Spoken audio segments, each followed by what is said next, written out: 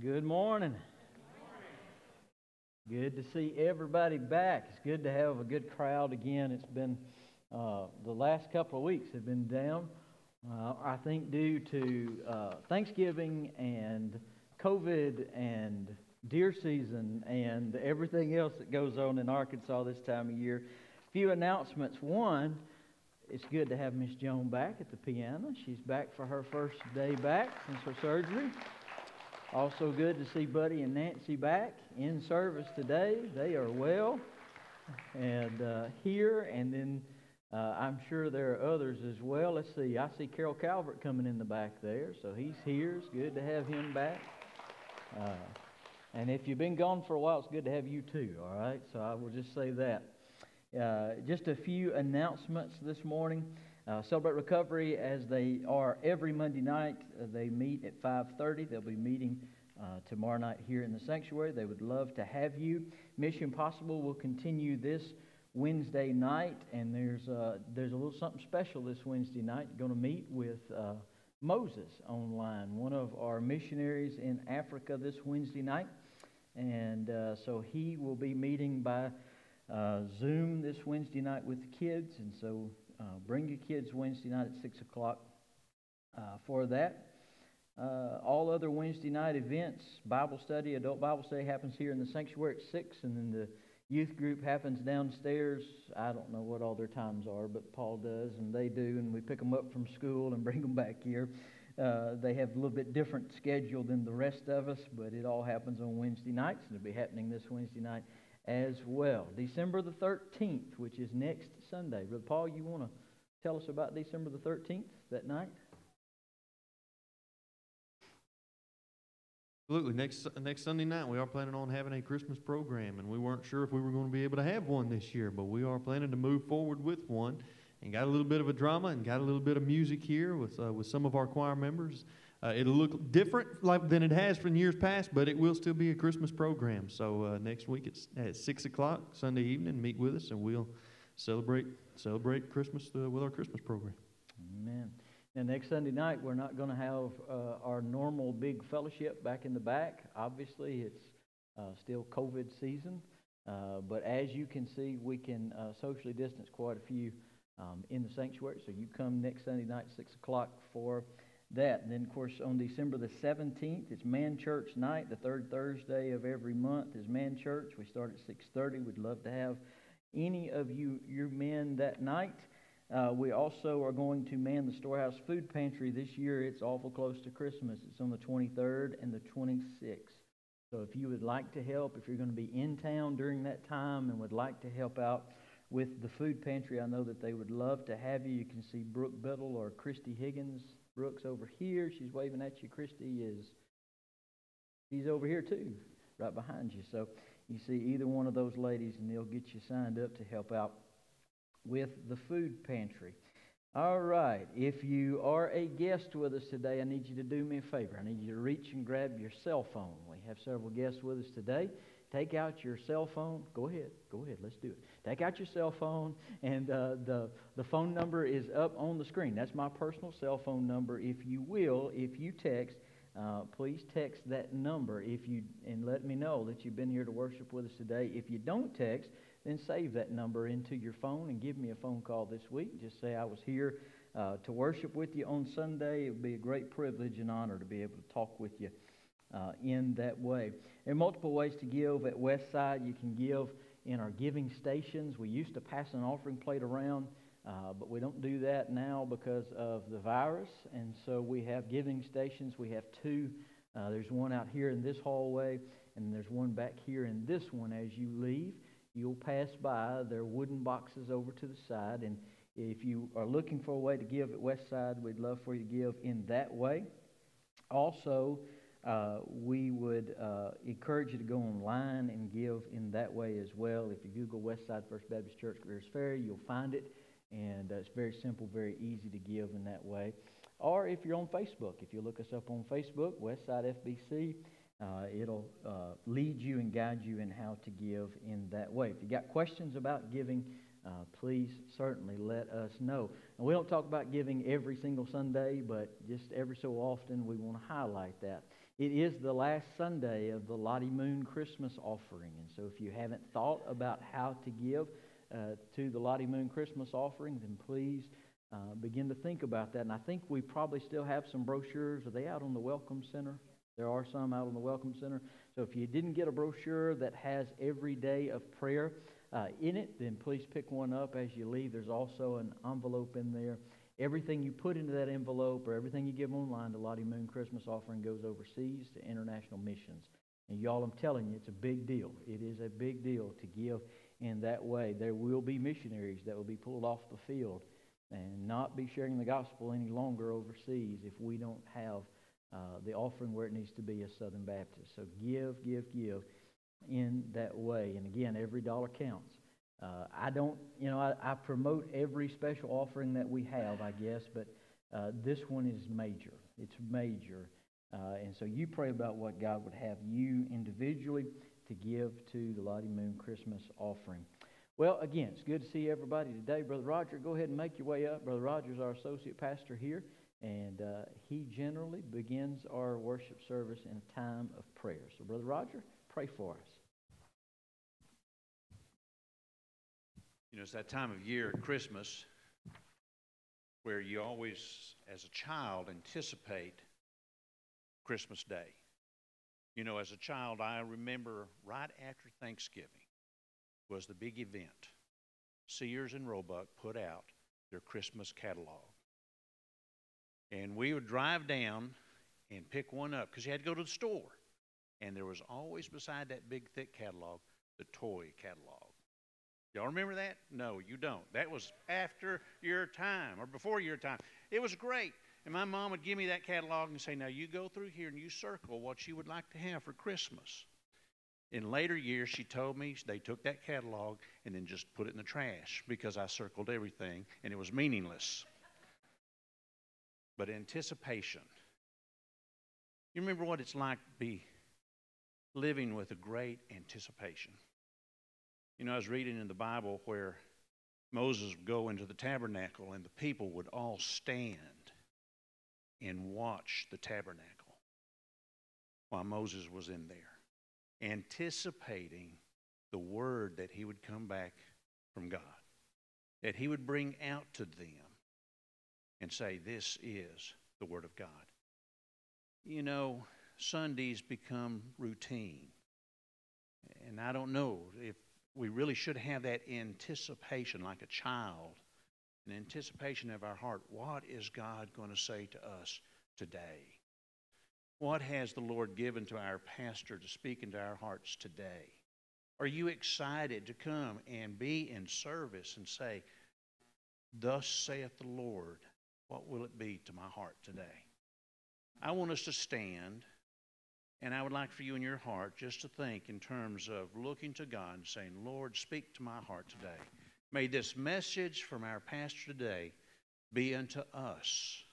And give me that great excitement of waiting to hear his word. Let's pray. Now, Father, we come, and we want to come as children. Father, children with that excitement, looking unto Father that has given us a gift of life. Father, today you have given our pastor a message. And Father, we want to have that joy of a child in our heart, waiting to hear it. Father, waiting to apply it. And so, Lord, today, hear your children as we pray and lift up before you. Speak to our hearts. Father, speak into our lives that we may know your perfect gift and we may know the eternal life that you've given us through our Son, your Son, Jesus Christ our Lord.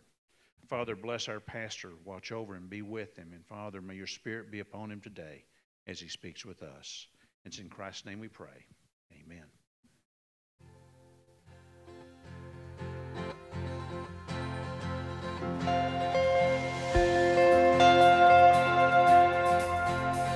He's coming on the clouds. Kings and kingdoms will bow down. chain will break as broken hearts declare his praise. For who can stop the Lord Almighty? Our God is alive, the Lion of Judah. He's roaring in power and fighting our battles. Every knee will bow before him. Our God is the Lamb, the Lamb that was slain for the sins of the world breaks the chains. Every knee will bow before the lion and the lamb. Every knee will bow before the lion.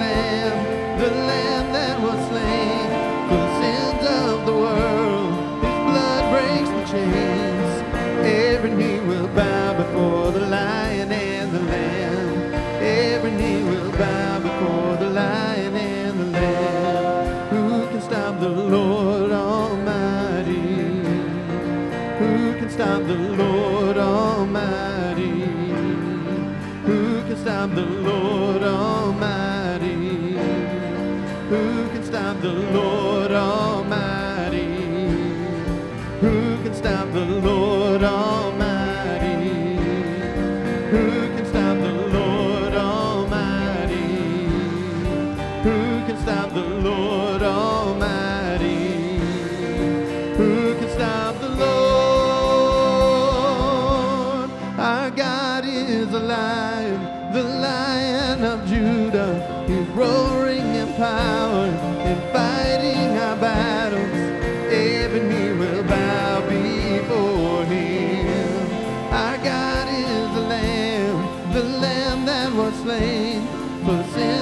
of the world, his blood breaks the chains. Every knee will bow before the lion and the lamb. Every knee will bow before the lion and the lamb.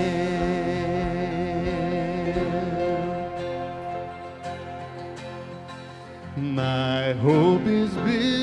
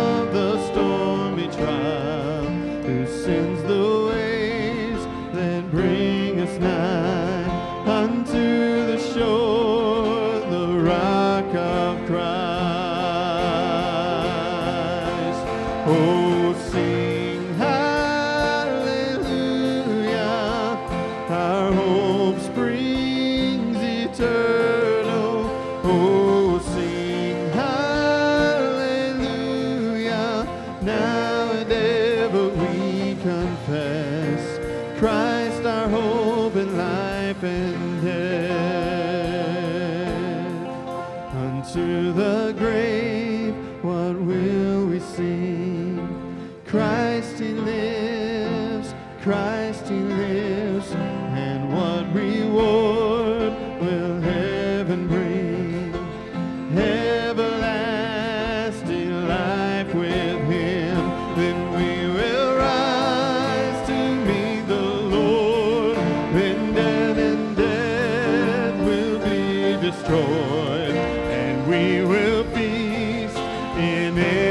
joy when Christ is ours For.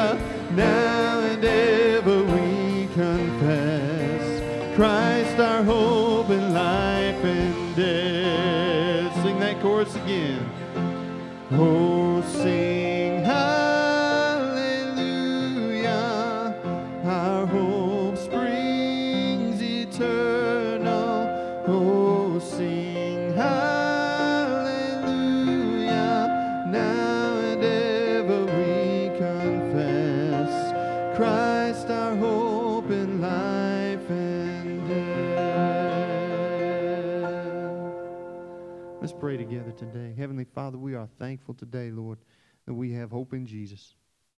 And Lord, I pray if there be one in this room, Lord, or one watching online, Father, that does not yet know the hope that is offered through Christ, through the cross and the resurrection, Father, I pray that today would be the day of their salvation. Today would be the day that they come to know you and seek you as Lord and Savior. Father, I pray that you would move and work in our hearts, draw us closer to you, speak through the special music and through the reading and the preaching of your word today. In Jesus' name, amen. Good morning. This uh, this part of our service is called special music, and what I want to share with you this morning, and in my opinion, is just just way beyond the word special. If you're visiting with us, our our young music minister uh, is Paul McCarty, and I believe his dad would confess and tell us that uh, he got his musical ability from his mama. His his mama's name is Joy McCarty. Miss Joy uh, passed away of cancer years and years and years ago, and uh, I remember in the old sanctuary uh, when she was battling cancer, she sat at the piano and sang a song called I'll Pray for You. And that had such an impact on me that I still remember it all these years uh, back. She sang not only a song, she sang a message. And as I thought about that, I thought, you know, she blessed our church back then. And now, if y'all would listen, 30 years later, she can bless our church again. This is Miss Joy McCarty.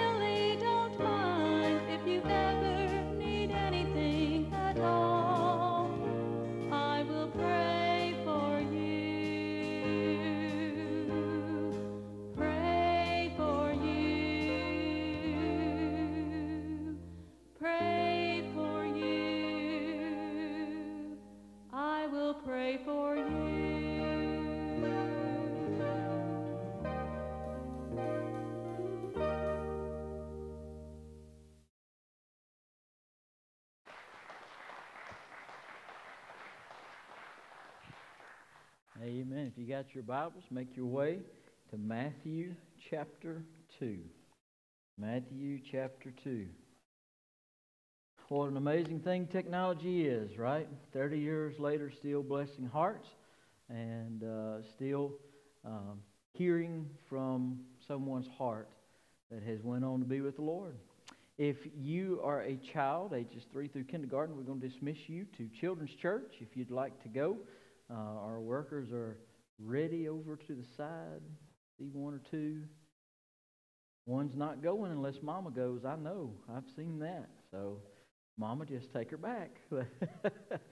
they have that discussion every Sunday, and she looks at her, and I can just see her. She just shakes her head like, "No, I'm still not going to go by myself unless you take me back there." Well, I don't know about at your house, but at my house, it's beginning to look a lot like Christmas. What about your house? I know it's 2020. We've been through a lot, but the Christmas tree is up. The lights are on. They never go off at my house. They're on night and day at all times. My wife, if she could, would leave the Christmas tree up 12 months out of the year, and, and she would glitterize the whole house. Any men know what I'm talking about? It's everywhere. It's everywhere. And then she's got these little, uh, what do you call those little? A Christmas village house. And and for her birthday, her birthday was this last week, and and she got uh, she got Christmas village people. Christmas village people. One's throwing a snowball at the other one, and uh, she was so excited. And I said, "Yeah, yeah, that's that's that's wonderful, wonderful. Buy me a fishing rod, but that's great. If you want that, that's wonderful, wonderful. And and the other night she had she starts turning lights off, and I flipped them back on. Said I'm not ready to turn. She said I have to take a picture of my Christmas village with my Christmas village people for my friends. That's what she said for my friends. And so I said for your friends. She said yeah, they've asked for a picture of the Christmas village. And I went, well, there's more than one woman out there like this. I didn't know. Uh, I did not know. And at my house, the Christmas presents are bought. We start early because Christmas is a big deal at my my house. And and if the lady who normally decorates, if she weren't at home sick, this whole sanctuary would be decorated for Christmas. That time of year. 2020 can't take that away from us, can it? We're going to decorate. We're going to have a good time at Christmas. I want to talk to you today on the idea, get ready, a bloody Bethlehem. I want you to see that some of the stuff that we do for Christmas, though there may not be anything wrong with it, I want to remind you what Christmas is really all about. Stand with me on the reading of God's Word. Matthew chapter 2, we're going to begin reading in verse 16. The Bible says, Then Herod, when he saw that he had been outwitted by the wise men, he flew into a rage and he gave orders to massacre all the male children in and around Bethlehem who were two years old and under, in keeping with the time he had learned from the wise men. Then what was spoken through Jeremiah the prophet was fulfilled. A voice was heard in Ramah, weeping and great mourning. Rachel weeping for her children and she refused to be consoled because there were no more. They, excuse me, they were no more. Let's pray. Father, we love you. Thank you so much for your word. Father, I pray today that the truth of the gospel would shine forth today. Father, I pray if there's someone here in this room or someone that is watching online, Father, that if they do not know Jesus as their Lord and Savior, they would before this day is over. Father, remind us what Christmas really looked like the first one. Father, help us. Lord, we've so materialized everything around Christmas. Father, we've made idols out of some things that we should not. Father, help us to begin the first Sunday in December, Father, to begin this Christmas season with a reminder of our Savior. Father, if there's some in this room, they've been away from you for so long, but Lord, you would draw them back to yourself. Father, I pray today would do that very thing. Father, help me to say those things you have me to say. Help me not to say those things you'd have me not to say. Father, you lead us. Forgive us of our sins. In Jesus' name, amen. You may be seated. Chuck Swindoll writes that it was the year 1809. The international scene was tumultuous, to say the least. Napoleon was sweeping through Austria, blood was flowing freely. Nobody then cared about babies, but the world was overlooking some terribly significant births in 1809. For example, William Gladstone was born that year. He was destined to become one of England's finest statesmen. The same year, Alfred Tennyson was born to an obscure minister and his wife. The child would one day greatly affect the literary world in a marked manner. On the American continent, Oliver Wendell Holmes was born in Cambridge, Massachusetts, and not far away in Boston, Edgar Allan Poe began his eventful, albeit very tragic, life, Swindoll writes. It was also in that same year that a physician named Darwin and his wife named their child Charles Robert. That same year produced the cries of a newborn infant in a rugged log cabin in Hardin County, Kentucky. The baby's name? Abraham Lincoln. Swindoll writes and says if there had been news broadcast at the time, I'm certain these events would have been heard. The destiny of the world is being shaped on an Austrian battlefield today. But history was actually being shaped in the cradles of England and America.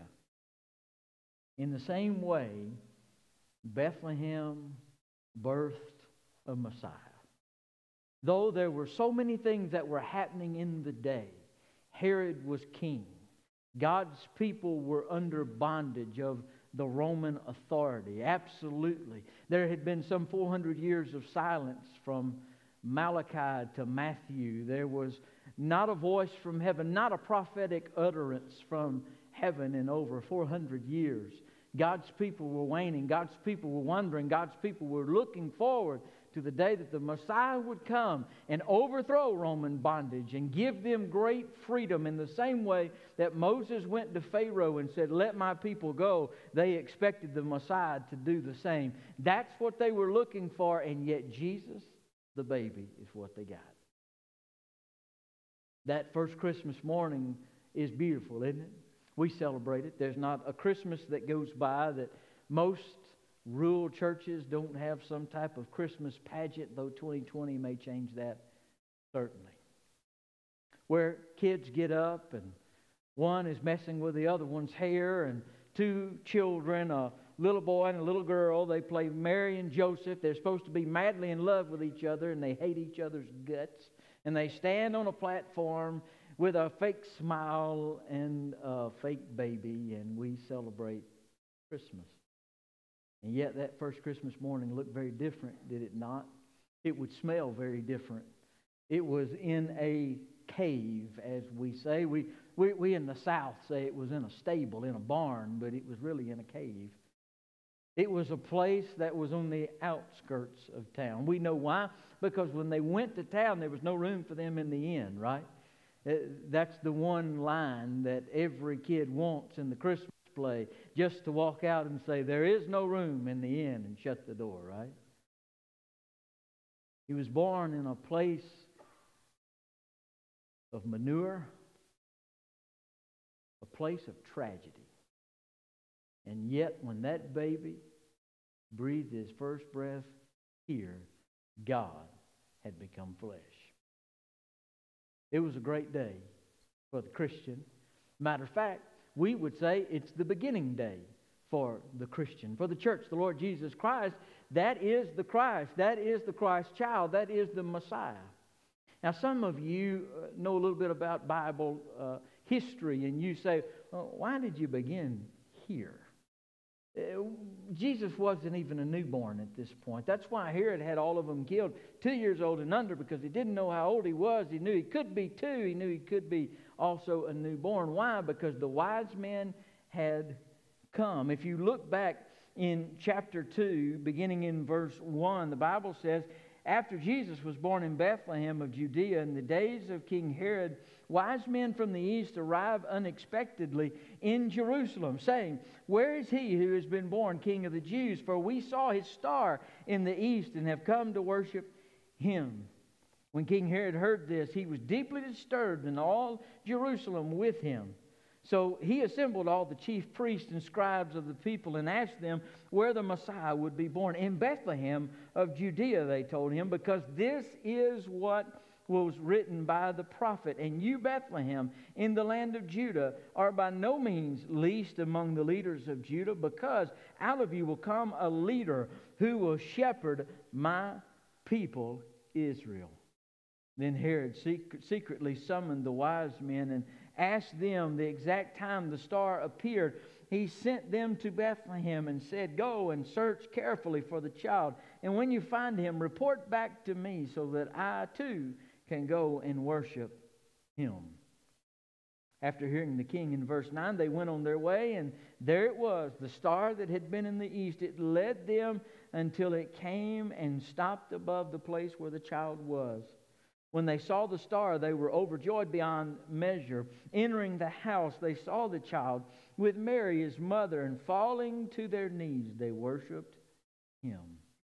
Then they opened their treasures and presented him with gifts of gold and frankincense and myrrh. And being warned in a dream not to go back to Herod, they returned to their own country by another route. So you've got King Herod. Who is this king? He was one bad dude, I'm telling you.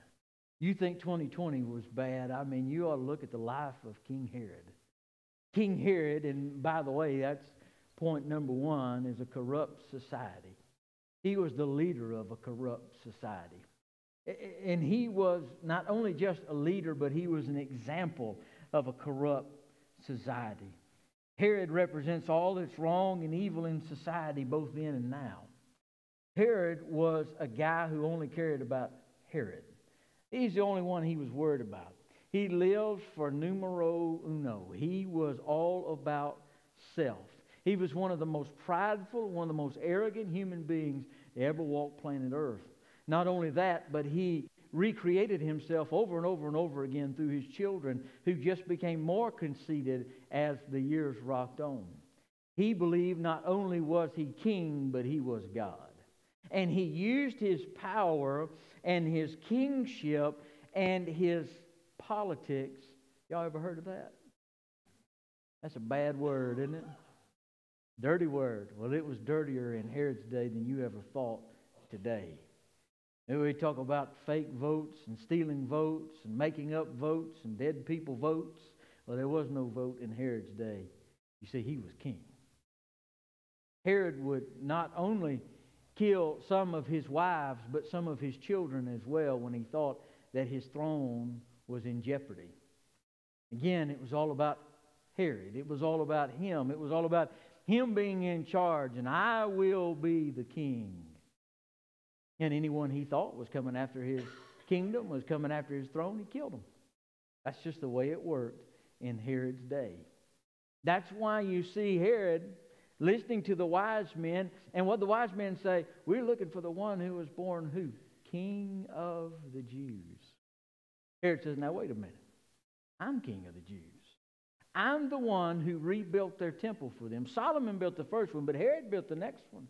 He's the one who is known in that day as King of the Jews. What do you mean, King of the Jews? I'm King of the Jews. There's another one being born.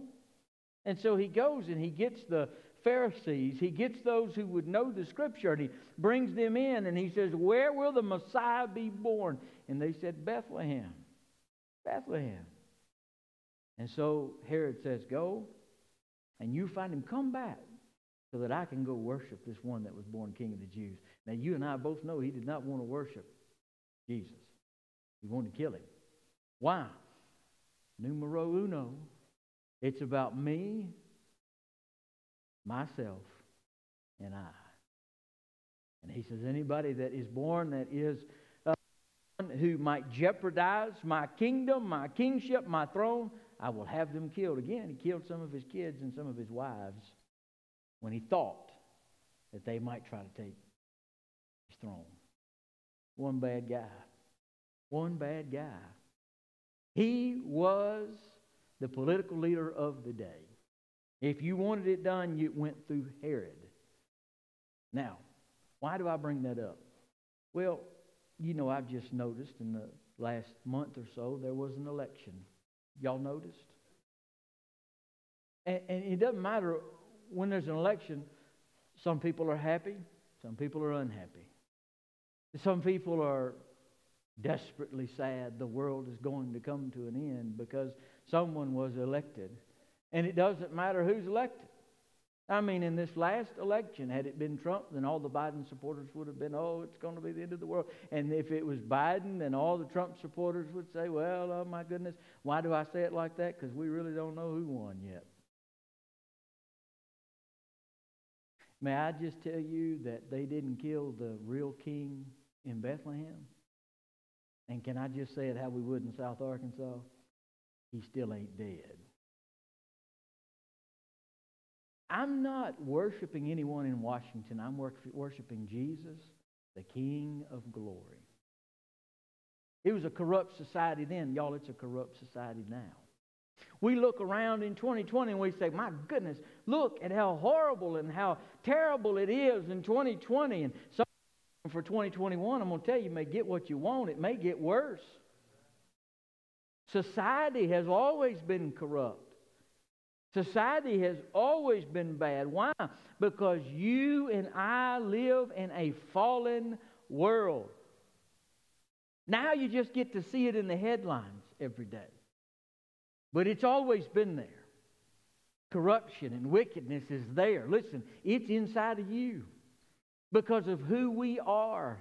We were born this way. We didn't ask for it, but we've got it. And you say, well, if we could go back to the Garden of Eden, you'd have eaten the fruit too. That's what would have happened. It's who we are. The, the Bible says that even God's people are bent to backsliding, bent to going away from God, not bent to going towards Him in Romans chapter 3, and you know these verses well. The Apostle Paul writes and says, What then? Are we better? Not at all. For we have previously charged that both Jews and Gentiles were all under sin. When he makes that statement in that day, he's saying that every human being on planet Earth, we're all under sin. He would say today that the Northerners and the Southerners in the United States of America are all under sin. If he were to say it today, he would say the Democrats and the Republicans are all under sin. Everyone is level. We are all sinners. In verse 10, it says, As it is written.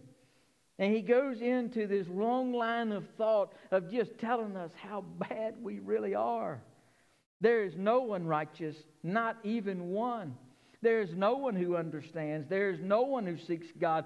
All have turned away. All alike have become useless. There is no one who does what is good, not even one. Their throat is an open grave. They deceive with their tongues. Viper's venom is under their lips. Their mouth is full of cursing and bitterness. Their feet are swift to shed blood. Ruin and wretchedness are in their paths, and the path of peace they have not known. There is no fear of God before their eyes. Everybody feeling good about yourself so far? Hmm. Thanks, Paul. Romans chapter 8, verses 3 through 4. What the law could not do, since it was limited by the flesh, God did. He condemned sin in the flesh by sending his own son in flesh, like ours, under sin's domain and as a sin offering, in order that the law's requirement would be accomplished in us who do not walk according to the flesh, but according to the Spirit. The Apostle Paul says we're all bad. The Apostle Paul says when you look at Herod, you ought to see yourself there. Anybody ever been selfish in the room? Anybody ever worried about what somebody else would think and tried to take care of yourself? That's what Herod's doing. Now, it's a whole other level, I'll agree. I mean, I've never thought about someone wanting to become pastor of this church and Well, you know, they may want my job, so let's just kill them. I've never thought that. I mean, it's just not crossed my mind. I've not looked at one of my two boys. I mean, I've thought about killing them, but for other reasons. But I've never looked at one of my two boys and said, you know, they might, they might take my church from me. Let's just kill them. I, I mean, I don't even understand that, that thought process, but I do understand this the sinfulness of Herod. I get it. You know why I get it? I looked at it this morning in the mirror. We're all sinners. We're all on level playing field. You say, I'm not on level playing field, preacher. Yes, you are. See, you struggle with pride and arrogancy. You say, no, I'm, I'm not on the same playing field as, as, as other folks. I mean, I'm not like a, uh, I mean, I'm not an alcoholic, not a drug addict, not a murderer. You remember what Jesus said? Jesus said, if you are so good and yet you look at someone and you have hatred against them in your heart, what have you done? You've murdered them. In your heart. Now, let's not raise our hands, but who has done that? We all have. We all have. He says that if a man looks at a woman with lust in his heart, what is he? He's committed adultery. By the way, that's for ladies that look at men the same way, all right? If we were to have a show of hands, every hand in this room would have to go up to say, We are a sinner. Herod was a sinner. He was sinfulness on display. You may keep yours hidden at home in the closet a little better than he did, but he was sinfulness on display. He was corruption at its worst. Dr. J. Wilbur Chapman told of a distinguished minister, Dr. Howard from Australia, who preached very strongly on the subject of sin. And, and, really, to be honest, there may be some of you in this room a little, uh, I wish he'd slow down. I wish he'd back off just a little bit. I can't believe he would be so stern on sin. Dr. Howard went through the same issue, and, and after the service, one of the church officials came to counsel with him in his study and said, Dr. Howard, we don't want you to talk as openly as you do about man's guilt and corruption. Because if our boys and girls hear you discussing the subject, they will uh, more easily uh, become sinners. Call it a mistake, if you will, but do not speak so plainly about sin. The minister took down a small bottle and showed it to the visitor and said, Do you see that label? It says strychnine. And underneath in bold and red letters, the word poison. Do you know what you are asking me to do? You are suggesting that I change the label. Suppose I do paste over the words essence of peppermint. Don't you see what might happen? Someone would use it not knowing the danger involved and would certainly die. So it is, too, with the matter of sin, Dr. Howard said. The milder you make the label, the more dangerous you make the poison. I know it's Christmas. I know. We, we're all supposed to, well, we're not supposed to hold hands. All right? We're not supposed to do that. We're supposed to stand six foot apart and maybe put our palms out toward each other. But I'm sure if you ask the media, they'd give us the coronavirus. So maybe we're not even supposed to do that. But it's supposed to be nice. It's supposed to be kind.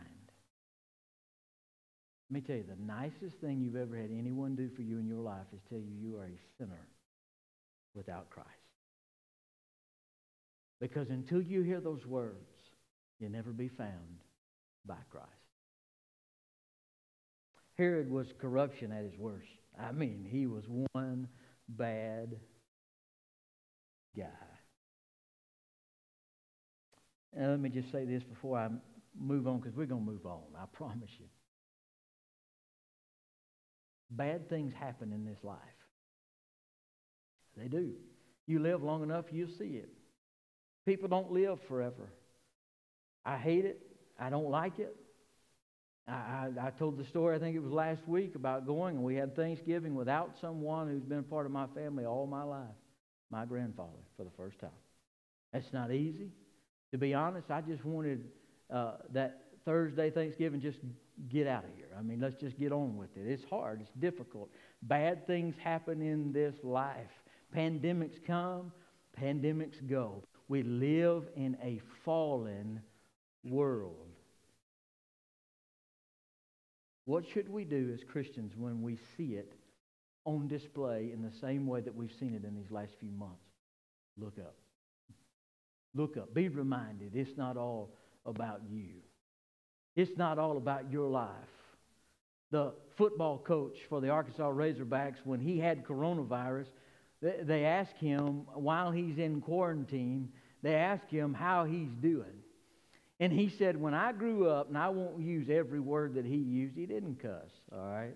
But it's just not language I ought to use from the pulpit. But he said that his grandfather said, and I quote, that this world doesn't revolve around your, I'll just say, rear end. But he said in the last few days, it seems like it has because of all the prayers and all the concern I've had from fans of the Arkansas Razorbacks as you look around this world, you need to understand this world doesn't revolve around your rear end, all right? It just doesn't. You need to understand that the world doesn't revolve around America's needs. It doesn't. It revolves on the axis of what God wills. He is in charge. And when you see death and you see hard times around you, you need to be reminded that you know what? You're not all in charge. You don't have everything uh, covered in your own life. Some of you thought you'd get together with family this year, but you couldn't. Some of you thought you'd live this be the best year of your life, and it sure hasn't been. It's been tough. It's been hard. It's not been easy. Listen, if you're looking for sympathy, don't come to the Baptist preacher because I'm telling you, we built a new sanctuary and we had this thing full of people, and then a pandemic comes. So you're not going to get a lot of sympathy from me. I'm just going to tell you, we're all going to not hold hands, put our palms toward each other six foot apart, we're going to get through this thing together. But I promise you, what I've been reminded of, you know what? You thought you had it all under control, but you don't. It's all in God's hands. We're called people of faith for a reason. You don't have faith in something you see, you have faith in something you believe. Now, listen, it's a substantial faith. It's a faith that's backed up by much much fact in the Word of God. It's not only a faith that's backed up by much fact, but every prophecy that God has ever given has come to fulfillment, except those that are yet to come. But I'm telling you, what He says, it is settled. Trust Him. A corrupt society. We still live in a corrupt society, y'all. Point number two is a Christmas statue. Now, listen, that's not found in the Scripture, but I'm not making it up. We have them. And I'm not talking about Christmas trees and Santa Claus, and I'm, I'm not getting into that. But I'm going to tell you, we've made Christmas something that Christmas is not. We've made Christmas something that, you know, Bing Crosby in the background and all of that. You know, I was thinking as, as uh, Roger was talking about that, uh, that, that Christmas catalog, he, he misspoke. He, he didn't mean to say this, but he said that some of you were pre Christmas catalog and, and what he meant to say is that some of you were post the Christmas catalog. You came along after the Christmas catalog, but I thought, boy, he's talking to Ray Moore right there because I know there was no Christmas catalog when Ray Moore was growing up. It couldn't have been. How many of you learned to drive sitting on one of those things? I, I did. Yeah, I knew exactly what that was. And I remember sitting there with all my cousins at Christmas, and we would sit there and, boy, we'd circle and, and, before you know it, about everything circled. I mean, we about got the whole book circled. Roger was exactly right. We, we wanted it all, man. And, and really, when I was growing up, I mean, I guess there were bad things happening, but I didn't know it. I, I just didn't know it. Uh, now, kids are growing up understanding there's bad things out there. You know, I hate that for my children. I, I wish my children could grow up in the same way that I did, just thinking everything's fine. Everything's fine. Now they, they have to put on a mask to walk in. We'll go in the restaurant uh, for lunch today, and we'll walk in. We have to have a mask on when we walk in. Why? Because we might get a virus and die. That there's a 0.002% chance that we die from. That's the world that they're growing up in. And you and I have let it happen. Christmas statue what, what, what do you think of when you, you think of, uh, of Christmas? You don't think of a you don't think of a feeding trough. You don't think of manure. You don't think of those things. Hey, you don't think of a bloody cross. And yet, that's what Christmas is all about. So, what did Herod do? Well, he couldn't find them, so he said, Well, let's kill them. What we'll do is we'll kill every male child two years and under. Now, an angel comes to Mary and Joseph and says, Get out. Get out. Why? Because nobody's going to kill God's kid. It's not going to happen. God's not going to allow it. So he has them get out. They, they know the news before the news ever happens. You know why? Because they serve the God who knows the end before there is a beginning. And so God comes and sends an angel and says, Get out. So they get out of Dodge, and the, the, the wise men don't come back. And so what happens? Herod says, Kill them. It's estimated that some 14,000 babies were killed during this time. If you could go back to Bethlehem, if you could ask some of those mothers, what does Christmas mean to you? That lost their sons? That had men come in armed with swords and put a sword through their child? Can you imagine? As bad and horrible and wicked as uh, what we have going on now with abortion. But can you imagine? What would they say Christmas meant to them? What would they say that that year meant to them? Meant the loss of their child. It was bloodstained. It was done so that prophecy would be fulfilled. Now you say, God's at the heart of the killing of the innocent. No, no. God's not at the heart of it, but He did allow it to take place. As a matter of fact, He prophesied years before that it would take place. Why? Because He knows the future. If He didn't know the future, He wouldn't be God. In verse 18, a voice was heard in Ramah weeping in great mourning, Rachel weeping for her children. She refused to be consoled because they were no more. Bloody, horrible, wicked. Don't make Christmas something that it is not. It's not about a tree, and it's not about Santa, and it's not even about the gifts that we give, though the reason we give the gifts is because of the greatest gift that was ever given. But remember, it's about a Messiah that came. The Bible says in John chapter 1 and verse 14 that the Word became flesh and took up residence among us, and we observed His glory, the glory as the one and only Son of God, full of grace and truth. When Jesus was born, it meant war when the word became flesh in Bethlehem in that, and was laid in that feeding trough, there was an all out assault and war from the pits of hell to try to kill the child. If we can kill the child and keep him from the cross, we win. And so war begins to break out. And Satan uses men like Herod to try to kill the child. Satan's desire was to stop Jesus before the cross, and he would use any means necessary to stop the child before the cross. But you see, the difference between Satan and us is we know our God, and we know that Satan will not overcome our God. I said, we know that Satan will not overcome our God. I know I'm talking fast, but that's a good place to amen. I mean, it looks like hell is winning on the outside, but we need to teach our children that it's not winning on the outside. No, sir. Our God not only is not losing, but He has already won. We have victory. I'm not waiting to go to heaven to have, I have victory right now because I have Jesus in my heart. I am blessed in the midst of chaos. Why? Because I know who holds it all together. I trust Him. There are people in this room who had this virus, and I checked on them. I prayed for them. I texted them. What can I do? What can I bring? I want to do something. But I was not swayed that God was in control because a few people had a virus. And by the way, I don't know who our next president will be. I'm not sure anybody does, and who knows what will happen in January. The whole world may come to an end in January, and if it does, I'm a going home. I'm not worried. Am I concerned? Sure, I'm concerned. I live in America. How could you not be concerned? You wouldn't be an American if you weren't concerned about your nation. I pray for this nation.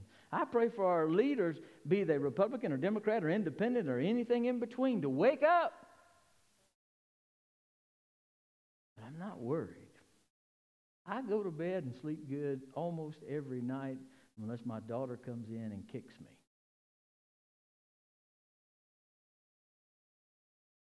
I'm not worried.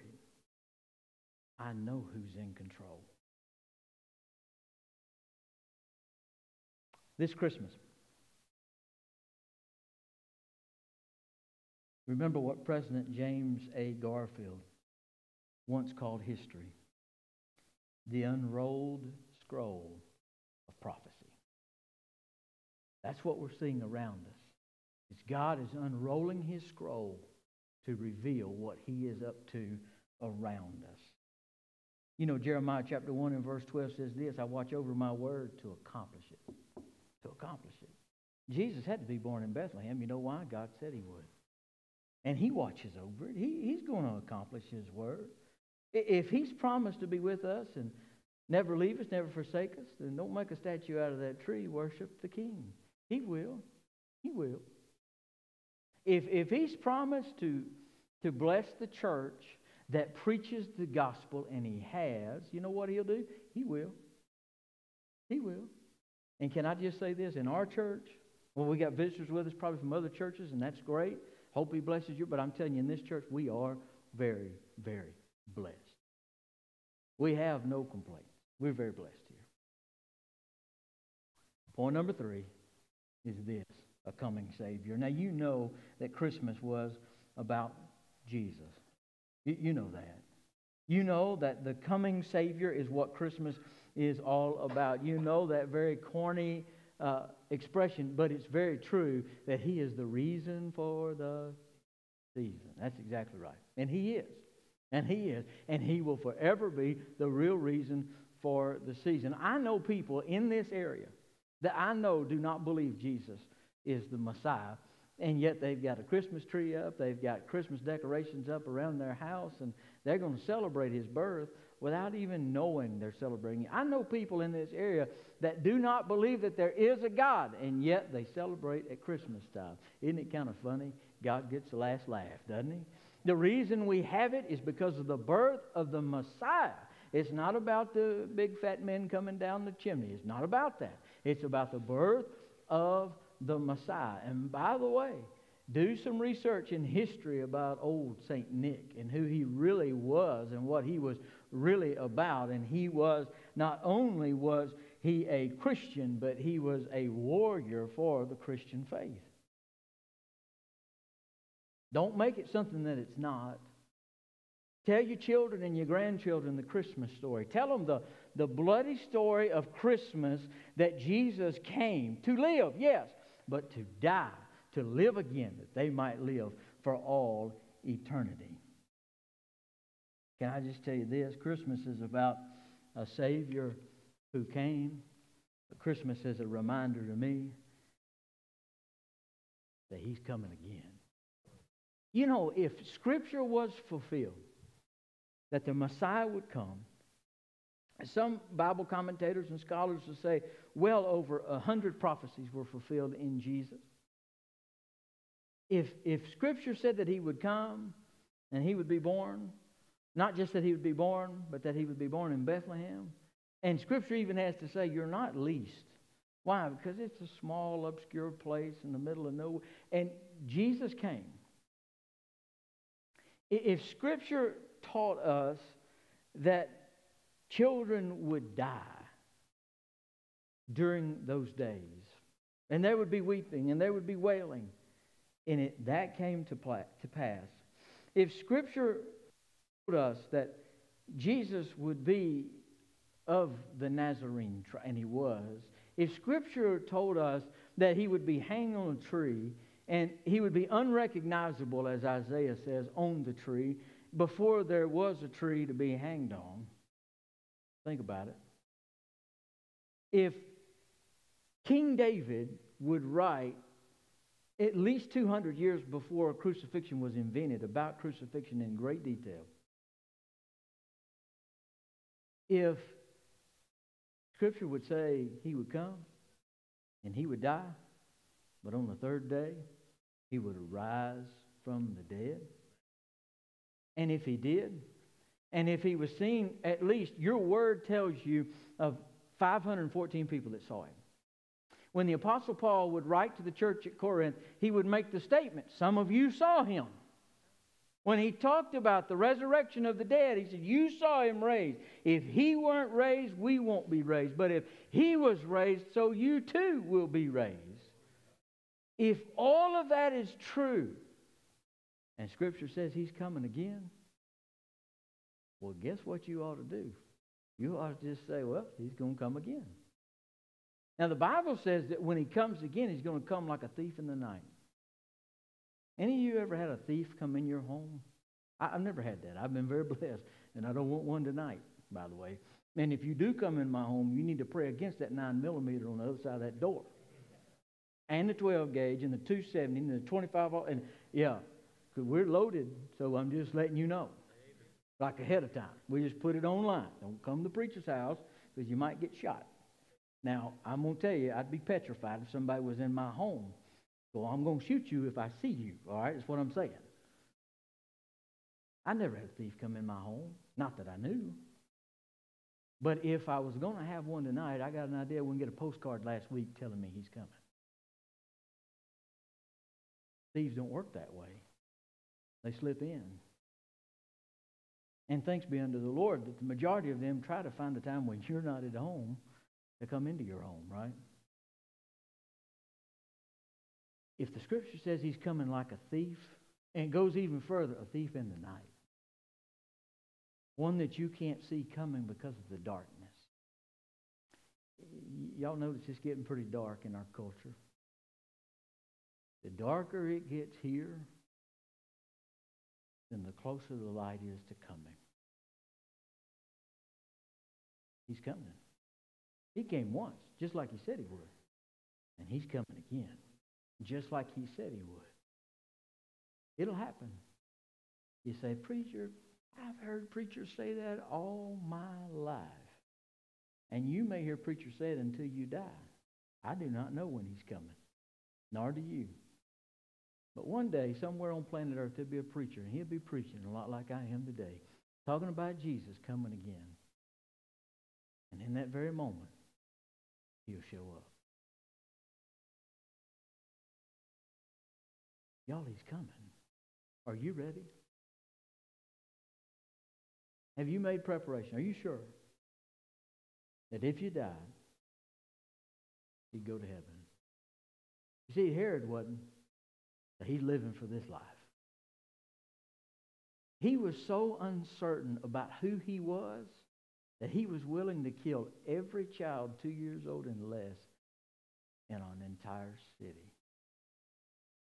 Because he was insecure, unsure, uncertain about life. You, you hear that and you say, oh, I would never do anything like that. But you know what Scripture says? Scripture says if you've broken one of the laws, it's just like killing 14,000 children. It's just as bad. And when you stand before God, He's not going to talk to you about what Herod did. He's not going to talk to you about what Doug did. He's going to talk to you about what you've done. And He's going to ask you, as Evangelism Explosion taught us years and years ago, tell me, why should I let you stay in my heaven? What would be your answer? I'm going to tell you, if it's anything other than the blood of Jesus, you won't get to stay. You'll be the ones that Jesus talked about and said, there'll be many on that day. He'll come and say, I went to church, went to West Side, member of West Side, been baptized. I read my Bible. I even witnessed. I did all this work. Maybe you'll be one who say, I was on the platform. I sang a song. I, I preached a sermon. And Jesus will look at you and go, Well, I'm so sorry. You lived your life in vain. I never knew you. We never had a relationship. Boy, I hope that's not you. But I want you to know I got good news. If it is you, it does not have to remain you. You come to know him today. I've told this story before, but I never forget one of the deacons' kids in my first church. First time I'd ever really witnessed it. She knew over 300 Bible verses with their reference because of Awana. And she walked the aisle on a Sunday morning just like this, and she said, Brother Doug, I need to be saved. I said, There's no way. No way you need to be saved. You, I know you're saved. She said, No, I'm not. She said, I know the word, but I don't know the word. And we sat down in that front row. You know what happened when she came? Seven others walked the aisle with her. She didn't know. And yet God had been dealing with her that week. God had been talking to her about salvation. And so she just made a decision. She went without her parents' approval because they thought the same thing I did. You got to be saved. I mean, you know, you just doubt. She walked up and she said, No, I'm lost. If I die, I'd go to hell. And I know I would. And after I got through talking to her, small country church, after I got done talking to her, I got I went over here and talked to this one. And then I went over here and talked to this one. You know what somebody said? we, we sang through just as I am 35 times today, preacher. Yeah, but there's eight people going to heaven that wasn't before we started.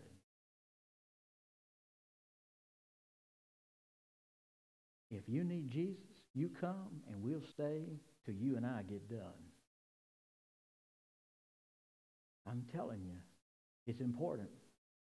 I'm not telling you it's important because I think he could come today. I'm telling you it's important because the Word of God says he could come today. And you could be left behind. It's just a fact. And so if he comes, are you ready? Herod was not ready. Herod was not ready. Herod died a paranoid individual with no relationship with the God that he walked among his people for years. If you died today, do you know? If you don't know, let's get it right. Man, you talk about a good Christmas. When you know Christ, it's just a new day. A new day. You can be a new creation today. You don't have to have that doubt. You can know. Oh, I pray you'd know today. Let's bow our heads and close our eyes. Listen, if you're here today, you say, Brother Doug, if I died, I don't, I don't know where I'd go. I, I'm just not sure. M- maybe you're, you're like that teenage girl was that day. She thought she knew, but then, but then she just didn't know. You don't know where you go when you die, why don't you make it right? Maybe you thought you knew at one time and uh, you said some words and you, you thought you meant, but you're just not sure. Be sure today. If 2020 has not taught us anything, surely it's taught us that life is very, very fleeting. Here today and gone tomorrow. There's no certainty in life. The only thing that is certain is that without Jesus, you go to a place called hell. But with him, you can go to heaven. Would you just talk to him right now? If you're not sure, just tell him, Lord Jesus, I'm not certain where I'll go. And right now, as best I know how, I give you my heart. Give you my life. I ask you to be my Lord and my Savior. I want to be ready when you come. So right now, I ask you to come in my heart. You know, if you're here today and you just said that prayer, mean it with all your heart, for the very first time right now, you say, I, I know I'm saved. Then I'm going to encourage you during the invitation to come forward. I'm going to encourage you because I'm telling you, just like I told you the illustration of the young girl when she came forward, seven others followed with her. If you're here today, you made that decision for the very first time today, don't be ashamed of him. He wasn't ashamed of you, and he's not ashamed of you now. Let it be known by coming forward today. Maybe you say, Preacher, I'm saved, but my life is such a mess. Such a mess. then I'm telling you, He'd be here as the song is being played in the background to welcome you home. Why don't you let Him come in? Why don't you come back home to Him? Maybe you're here and you're like I was this morning when you woke up. You're just thankful for all He's done for you. Maybe you need to come and kneel in these altars, do business with Him. They're open. You do whatever God's calling you to do. Father, we love you. Thank you so much for this day. Father, thank you for the truth of your word. Father, I pray in this moment that you would have full reign and full control. Father, anything you do during this invitation be done for your honor and glory. And it's in the mighty name of Jesus we pray. Amen. Let's all stand. If you need to come, you come as we sing.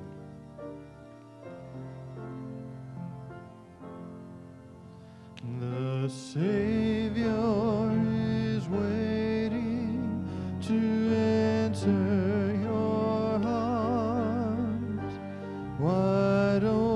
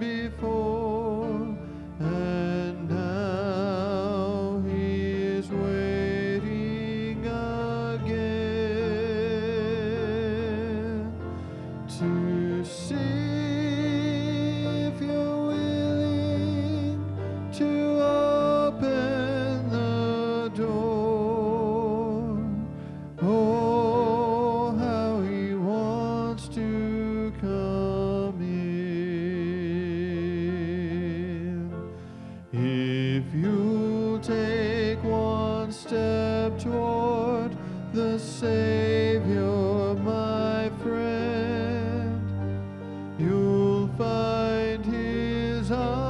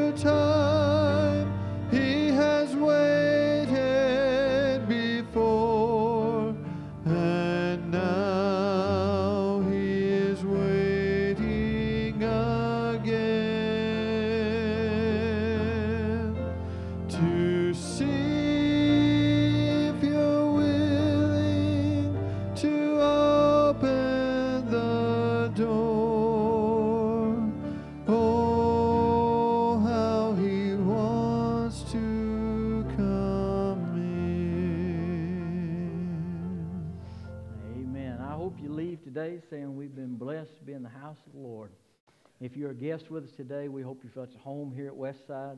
Uh, normally we'd shake hands and hug necks and all those things, but it's just weird right now, and so we don't do that. But we wish we could, and we're so grateful that you came to worship with us. Also, normally I would be back at the door and I would greet you as you walk out, shake hands with you, and thank you for your visit. But I won't do that today because they tell us we're not supposed to do that. And so I'm trying to do as told. It's just hard, y'all. It's just hard. You know what I'm saying? So uh, I'm going to stand up front, but we are so grateful that you came to worship with us today, not just for the guests, but for the members. It's good to see you. Good to have you in worship today. Come back and worship with us tonight at 6 o'clock. We're going through uh, the greatest sermon ever preached, the Sermon on the Mount, on Sunday nights at 6. And Paul will lead us in worship, and I think there's uh, practice for the Christmas play for next Sunday this afternoon. So it's busy around here on Sundays. Come back, come back tonight and worship with us if at all possible. It, again, it's good to see everybody here today. Chandler, will you dismiss us in a word of prayer, please?